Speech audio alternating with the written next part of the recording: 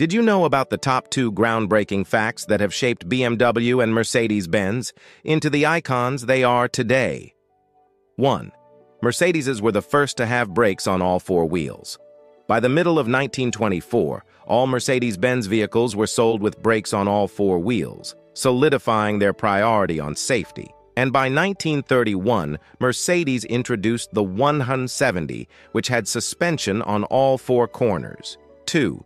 BMW began as an aircraft engine manufacturer in 1916 and slowly transitioned into motorcycles and eventually cars. It's then spent its time enhancing the vehicle offering to become one of the most well-known manufacturers across the globe. From BMW's legendary M-Series to Mercedes-Benz's pioneering safety features, these brands have redefined the automotive industry. Subscribe or follow for more mind-blowing facts.